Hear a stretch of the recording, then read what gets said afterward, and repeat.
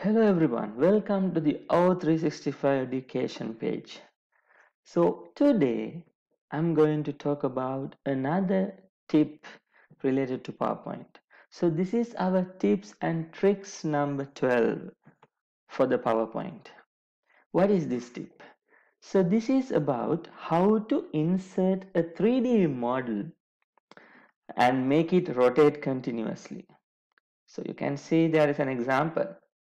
So if you want to have a 3D model to rotate like this, then please watch until the end. So let's go ahead and do a similar kind of animation using a 3D model. So here I have a presentation. So this is about solar system. Hope you remember. I used this solar system uh, topic in order to show you some of the tips. Let me add a new slide. I'm adding a blank slide. And then come to the insert ribbon. In the insert ribbon, we can find the 3D model. You can find it under the illustrations group. Click on the 3D model and there you can find from a file or from online source. So from a file means if you have a 3D model or models in your machine saved in a folder or an external uh, device, you can get it uh, from that. From online source means you can search for 3D models through online. I'm going to do using from online source. Once you click on that option, this particular search option will be open. So there you can find based on your requirement the name of the 3D model.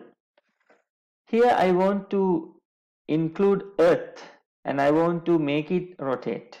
Right so then type earth. So and hit enter. Then you will see uh, some of the options a beautiful uh, 3d models. Okay this one is good for me I select it and click insert in in few seconds I can see uh, the 3d model in my blank slide okay I have it now and also I want to add a background uh, the main reason it is not good because the earth is not emphasized right? So therefore, I'm going to add a color to my background. I would prefer black. Solid color black. Let's make it a little bit big. Okay, this is good. Let's make it center. Come to the 3D model ribbon and then align, align center and also align middle right perfect and let me angle this a little bit okay so let's do that select the object and come to the animations under the animations you can see turntable option.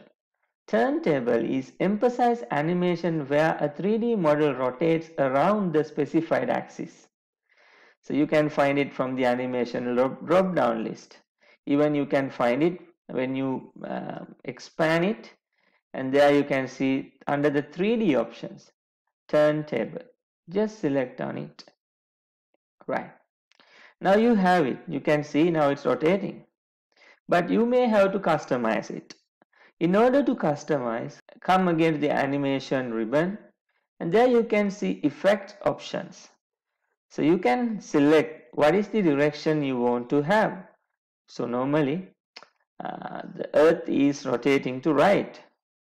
So it's by default it's there. And then the amount. Okay, how much you want it to rotate? Up to what extent?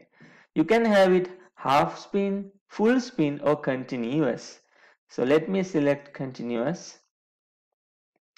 And then the rotation axis, is it view center or object center? So for us, it should be uh, the object center, right? Now you have it with you, okay? Now you can see your earth is rotating beautifully. And if you want to control the time, the earth to circle one time, for now it's 20 second so you can control over that. If you reduce this let's say to 5 seconds then earth will rotate very fast. See? It's really fast. So like that you can control it using the duration. So let's put it to 10